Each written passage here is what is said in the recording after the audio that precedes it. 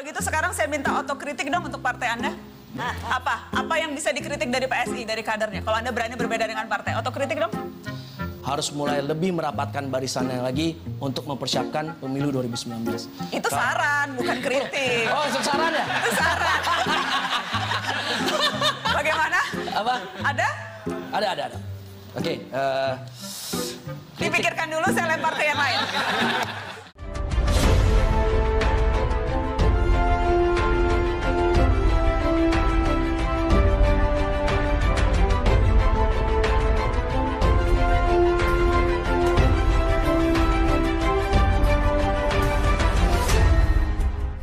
Tonton video ini sampai selesai agar Anda tidak gagal paham.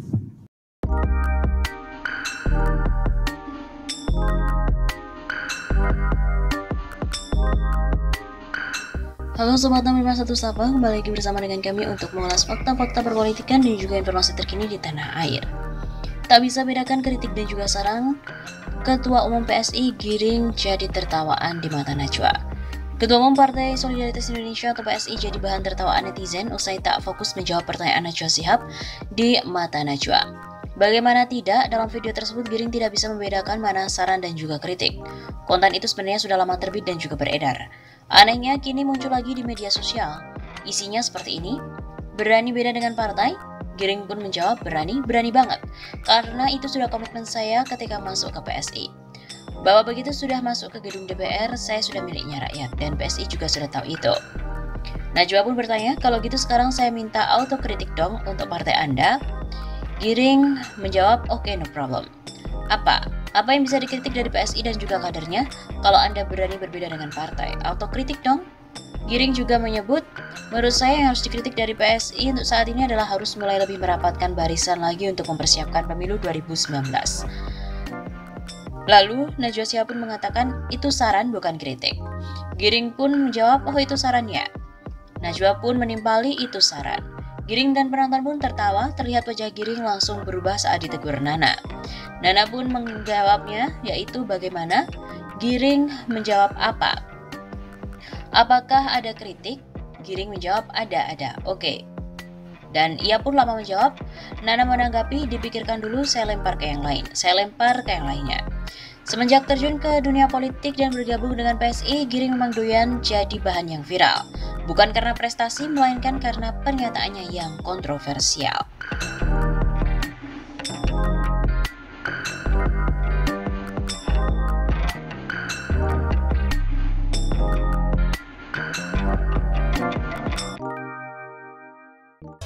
Jadi mahasiswa Paramadina 18 tahun juga belum lulus.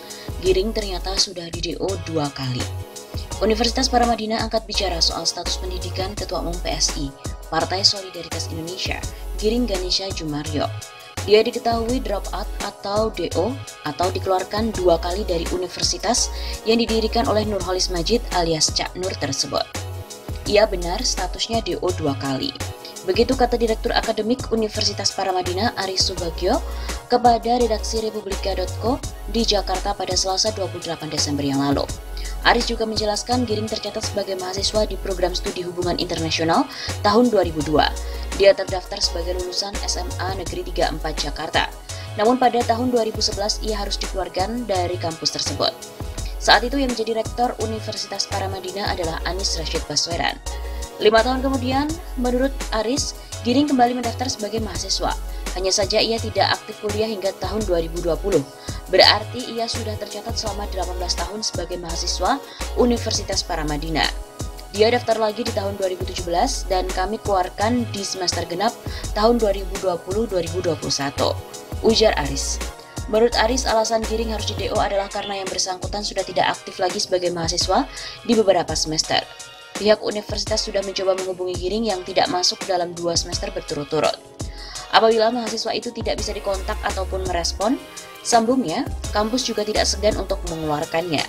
Langkah itu merupakan sebuah bentuk ketegasan dari kampus.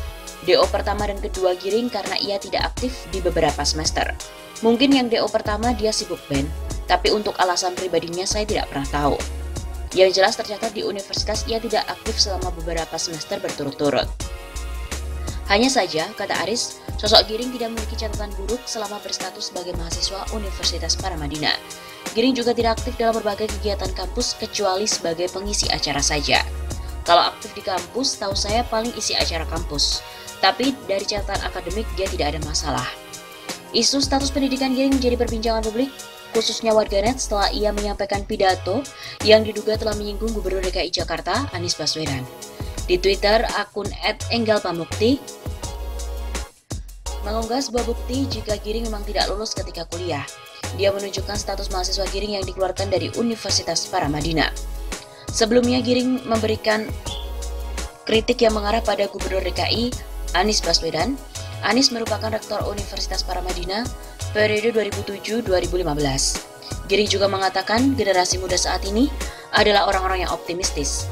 Namun hal tersebut akan terancam jika Indonesia dipimpin oleh sosok yang memiliki rekam jejak menggunakan isu SARA untuk menjadi pemimpin. Giring juga tidak mengungkapkan siapa sosok yang dimaksud, hanya saja ia menegaskan Indonesia akan suram jika dipimpin oleh orang seperti itu.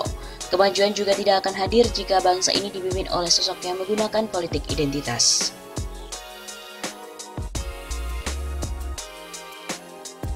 Belakangan ini video Ketua Umum PSI Giring Ganesha di momen puncak hari ulang tahun ke-7 pada Rabu 22 Desember yang lalu viral di media sosial.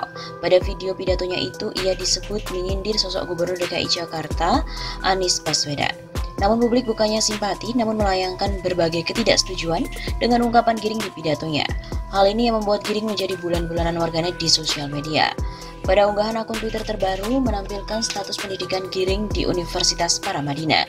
Pada cuitan oleh akun Twitter @enggalpamukti menunjukkan bahwa Giring Ganesha Dumaryo atau Giring sempat menempuh pendidikan di Universitas Paramadina. Ia mengambil S1 jurusan Ilmu Hubungan Internasional. Pada gambar tangkapan layar website PD Dikti Kemendikbud status Giring merupakan mahasiswa pindahan. Namun ia kemudian dikeluarkan dari universitas tersebut. Sementara pada kolom komentar seorang warganet dengan akun D2 Patriardi menunjukkan profil Anis di laman yang sama. Anies Rashid Baswedan juga memiliki hubungan kampus dengan Giring, yakni sama-sama di Universitas Paramadina. Keduanya juga berada di program studi yang serupa, yakni di Ilmu Hubungan Internasional. Bedanya, Anies menjabat sebagai lektor dan juga dosen tetap di universitas tersebut. Mungkin si Giring dendam, tulis akun tersebut mengacu pada hubungan Giring dan Anies. Cuitan itu mendapatkan berbagai respon dari warganet. Pantesan ya Giring dendam banget sama Anies, tulis warganet lainnya. Oh, gara-gara ini jadi sering bilang Pak Anies ini pembohong. Imbu warganet lainnya. Biasanya kelakuan berbanding lurus dengan masalah di kampus. Tulis warganet. Lah ini bocah, kayaknya dendamnya udah lama sejak jadi mahasiswa. Timpal yang lainnya. Meski begitu, di sisi lain warganet juga ada yang menyanggah mengapa riwayat Giring disebarkan begitu saja. Giring sendiri mulai aktif di kampus Paramadina pada tahun 2004 hingga drop out tahun 2011. Sementara Anies Baswedan sendiri mulai mengajar di tahun 2007. Selain itu, pengamat politik dari Universitas Islam Negeri UIN Syarif Hidayatullah Jakarta, Pangi Syarwijaniago menilai PSI punya kebencian yang begitu besar kepada Gubernur DKI Anies Baswedan, sehingga serangan dan juga diskriminasi yang mereka lancarkan kepada Anies dianggap sebagai kritik sudah tidak fair. PSI hanya mencari-cari kelemahan Anies Baswedan dalam memimpin DKI Jakarta. PSI tidak melihat keberhasilan Anies. PSI saya pikir selama ini tidak fair, bukan lagi kritis, tapi lebih besar DNA kebenciannya kepada Gubernur Anies. Tidak common sense kalau kemudian yang disorot kelemahan Anies, tapi tidak pernah menyorot keberhasilan dan mengapresiasi capaian Anies. Kata Pangi dikutip dari redaksi Senin 27 Desember. Pangi berpendapat PSI kerap menyerang Anies Baswedan, padahal partai itu level nasional. Tetapi PSI tidak pernah melihat dan mengkritik kepala daerah lain, termasuk kepala negara Jokowi. Sikap kritis PSI kepada Gubernur DKI Anies Baswedan sangat diskriminatif, karena hanya pada Anies mereka kritik ke pemimpin lain tidak. Juga tidak kritik pada Presiden Jokowi atas kebijakan yang tidak pro rakyat. Pangi juga mengatakan sikap politisi seharusnya mengkritik berbagai kebijakan pemerintah yang tidak benar dan mengakui keberhasilannya, bukan malah menebar kebencian kepada seorang pemimpin. Politisi normal tentu saja lebih seimbang. Kalau buruk silakan dikritik, tapi kalau ada yang sukses dan dianggap berhasil, mestinya tetap diapresiasi. Jadi itu rational choice. Bagi Pangi, pidato Ketua Umum PSI, Giring Ganesha yang sering menuding Anies sebagai pembohong, hanya sebuah dagelan dan lelucon dari seorang ketua partai level nasional. Terakhir kemarin, dagelan lelucon ketum PSI yang level nasional menyerang karakter yang ditujukan kepada Anies yang pernah dipecat Jokowi soal pemimpin pembohong. DNA kebenciannya terlihat sangat besar sekali. Begitu pungkasnya.